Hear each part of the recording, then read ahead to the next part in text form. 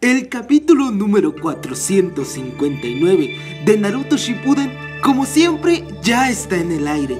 Y en esta sección te tengo ya preparadas 7 curiosidades o errores bastante interesantes de este capítulo, que por cierto estuvo muy épico.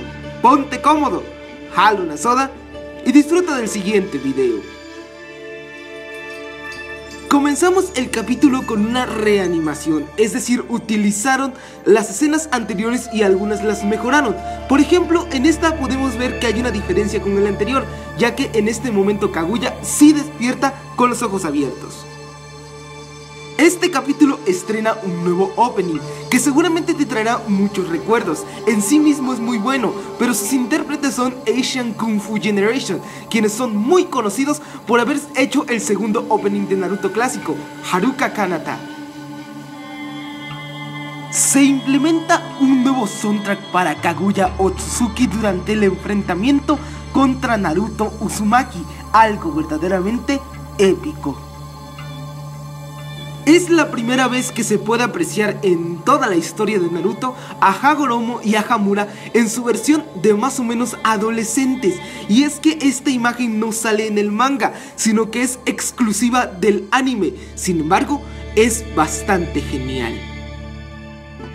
La escena en la que Sasuke utiliza su Rinnegan, es decir, la habilidad Ameno Tejikara, para cambiarse él mismo con la flecha de su Susano, es exclusiva del anime. En el manga esta no aparece, ya que Sasuke directamente ataca con el Susano.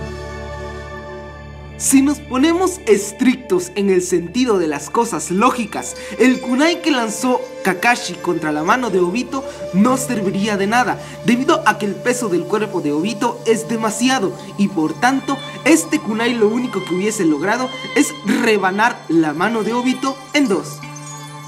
Finalmente, se aprecia algo interesante cuando Sasuke convoca el Susano y prepara sus espadas para atacar a Kaguya. En el manga esto no sale, y no me refiero a la escena, sino al hecho de que ella levanta un brazo y al contacto de su chakra, esta empieza a derretir al propio Susano. En el manga sencillamente sale en una explosión. El capítulo estuvo excelente. La verdad es que hay una escena épica entre el enfrentamiento de Naruto y Kaguya, la música que se pone de fondo e inclusive la animación, que se ve el cambio drástico de un estudio a otro.